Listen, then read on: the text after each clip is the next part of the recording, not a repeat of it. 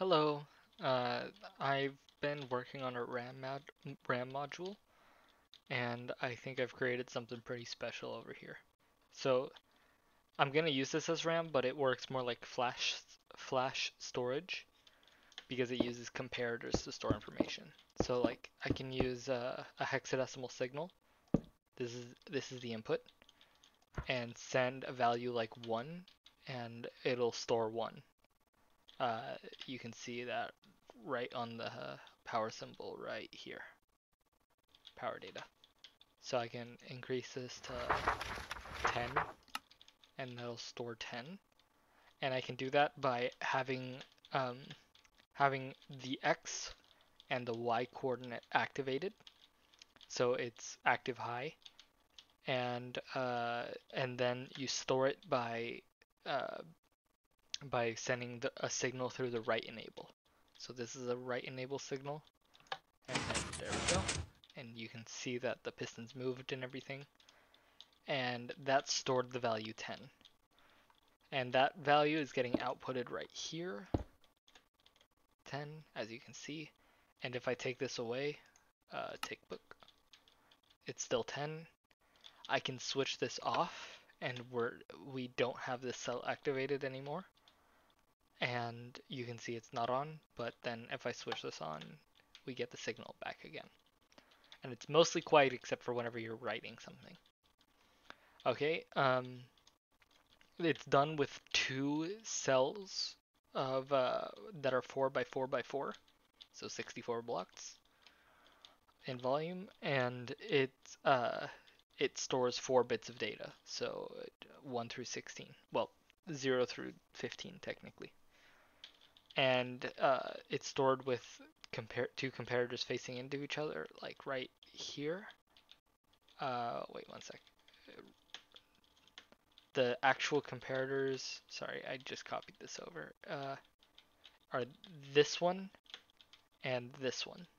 So this comparator points into this block, and that powers this this uh, redstone dust, which powers the block below it, which powers this comparator, which powers this block, which powers this redstone dust, which powers this block, which powers the comparator, and you get a circle of power. So it stays constant. And then whenever you write, you erase it by pushing this block out of the way, and this comparator no longer sees the power from this comparator, or from this redstone dust. Okay, so and this is scalable, so one fits right next to another and right above another, and that's what I did over here. Uh, I put four, four right next to each other, so this right here, one, two, three, four, and one, two, three, four, are is one cell, and there's four of them. There's one here, one here, and one here.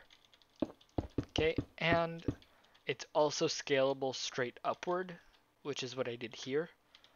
But you can't access each individual byte then. So you'd have to have a controller to store the information and then write to it again.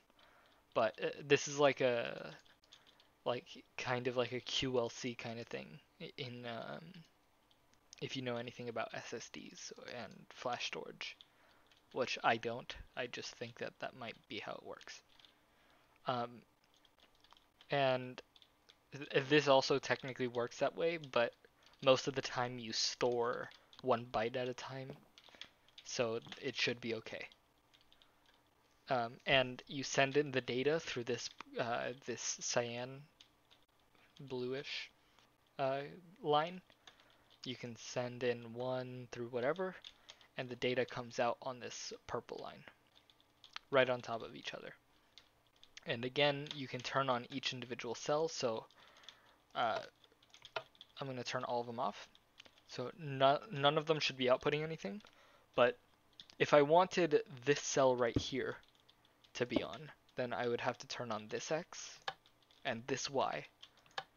And all, you can see this uh, uh, this torch, or sorry, my bad, this torch should turn on and that's the one that's enabling the output.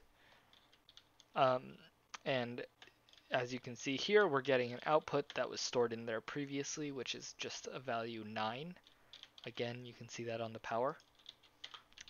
And um,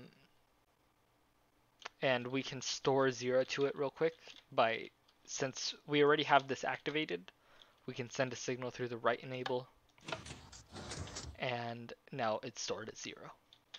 So um, my plans are to use this to build a decent RAM module, which I kind of did over here. This is one kilobyte, but it uses an old design eh, that's laggier, so I want to switch it over. Because this this design isn't too bad on the lag, but I scaled it up even more after this to 65 kilobytes, and it is just ridiculously laggy. And also, I need two kilobytes for that screen, which, uh, yeah, I, I need I need to store data on this, the data for this screen, and one kilobyte isn't enough. I want more. So actually, what I'm planning to do for the, this is off topic, but what I'm planning to do is have one of these columns right here, each this 4x4 cell uh, all the way down to store the data for one row up there. So I'd have this copied over 128, uh, sorry, not 128 long, um, 32 long and 32 wide, which is 32 by 32 is 128, and that should give me the value. I hope I didn't just sound stupid. 32 by 32 is not 128. That's that's not what I meant. Uh, 16 by 16, which is 256, and I'm going to store two screens worth of data. Okay. Um, I think that's it. Um, just to show you guys, because you probably want to see. This is the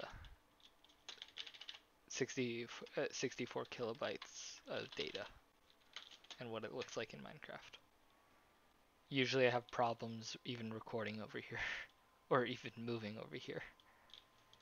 As you can see, I'm, I'm just frozen right now. Okay. And I'm just going to climb to the top of this and then zoom in over here. So it actually goes beyond the render distance. I'm ha having to use Optifine and I usually go up to 40 chunks. And literally just moving across a chunk border, which is what I did right then, lags me out to heck. Every time I cross a chunk border. Hey, I'm just going to TP back, but it goes out so far in each direction. Wait. TP back to 0, 0. Sometimes I have to relog because there's just so much data over there that the computer crashes. Give it a second. It still thinks I'm over at the 65,000 area. Yeah, I'm gonna have to relog. Wait, that's enough for now. If you guys have more questions in the chat, leave that in the comments below, I guess.